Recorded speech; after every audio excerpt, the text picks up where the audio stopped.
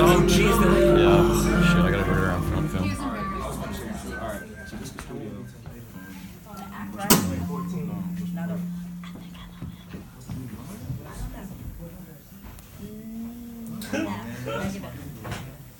Greetings, Earthlings. Oh, shit.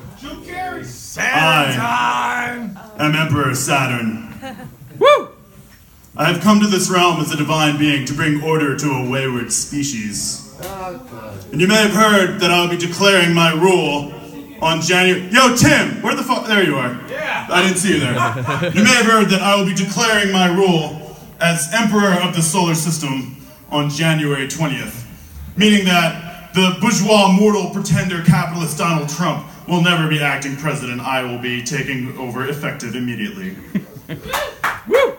There are some uh, points to my imperial plan. You may have heard some of them. Point one, I haven't really numbered these. Point one is redistributive genocide against the wealthy. Woo! Yes, yes. Another point is from day one of my imperial rule, set fire to the Philadelphia Parking Authority. there are some other points. Um, the Solar Empire will be uh, pro loitering. Uh, the Solar Empire will be anti uh, anti smoking. All uh, anti smoking education will be banned. All anti smoking uh, propaganda will be banned. Uh, there, there are some other points to my rule. Um, hmm.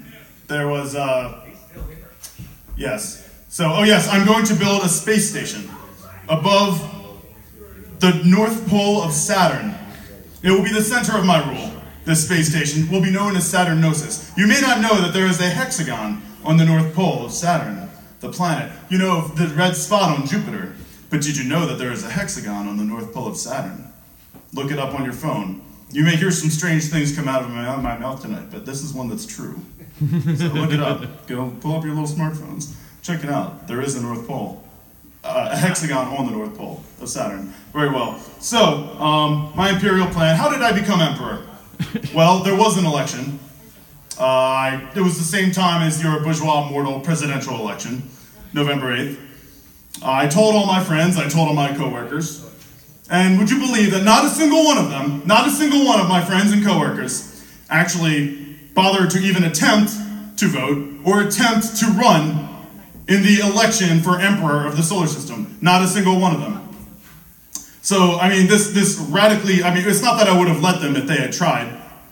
You know, the only vote that counts is mine. But if they had tried, well, they didn't try. And I believe that this is, you know, uh, just radical proof of, you know, that democracy is a failure. It's uh, the pure uh, legitimation of my absolute rule. And, you know, that's, if, if I had to have one message tonight, it's that uh, democracy doesn't work. That's my message tonight. Fuck democracy. Yes, that's my message. So, and uh, we will go into this. I will talk about the failure of democracy, and we will talk about how democracy doesn't work at length tonight. So, uh, okay, so uh, I want to first just explain that my reign is good for you. Um, you know, uh, my reign, it, it, would be unethical of me if I did not share my role with you. And I really, I'd be doing you a disservice if I did not ram my government down your throat. And ultimately, you know, it's in your best interest if uh, you allow me, you know, you filthy, unwashed, plebeian masses, just allow me to govern for you because you're clearly incapable of governing yourselves. You know, some people give dictators a hard time, they talk down on them. They say, well, dictators rule from fear. But I want you to stop and think for a minute just how much courage ruling from fear really takes. Think about that. You know, just shutting down and crushing dissident and opponent you know, with no moral justification, again and again, time after time, and having the confidence to do it effectively, again and again, that takes true bravery and audacity.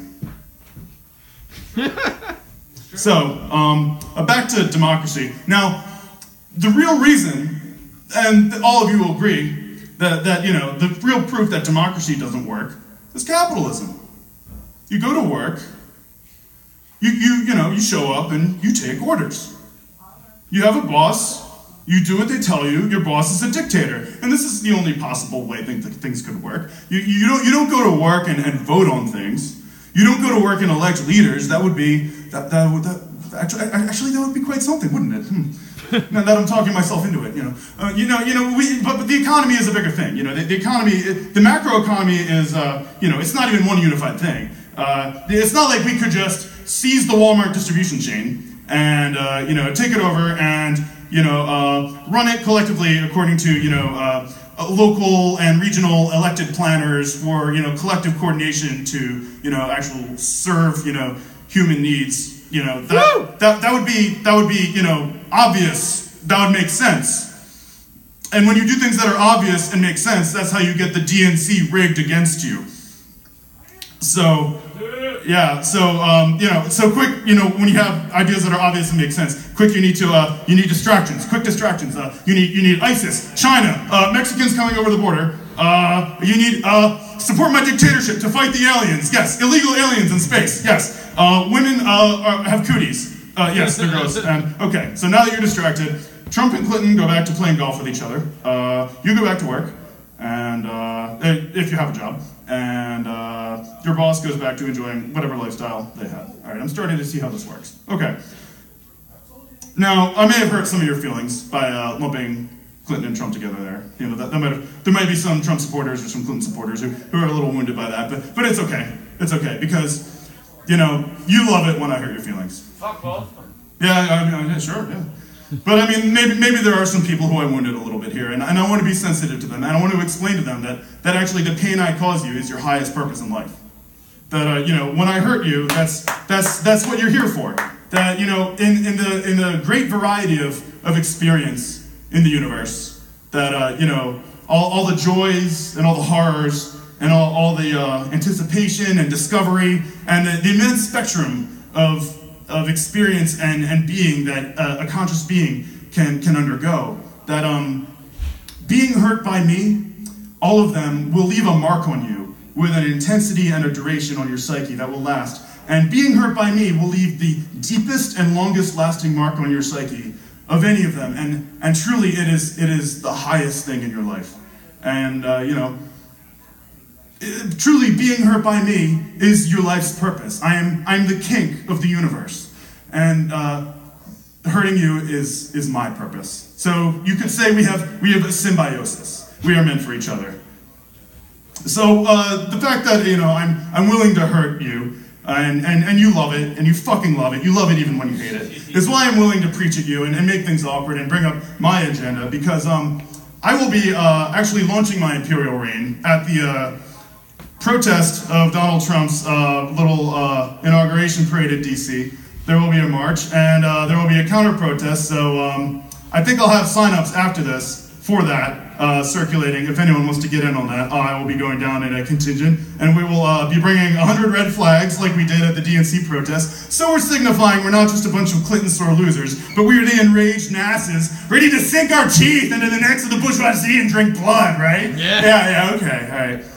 Um, but it's true that, you know, everything I stand for actually could be completely flawed. Uh, I started this character with the idea that I would be a parody of a demagogue, and then eventually I realized that I might just actually, my ideas could all be wrong, and I may actually just, just be the demagogue that I was parodying.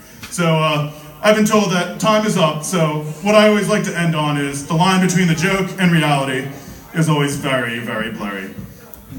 Hail Saturn! Hail the sun! Long live the solar empire! Kill the rich! Kill the rich! Kill the rich! Kill the rich! Kill the rich!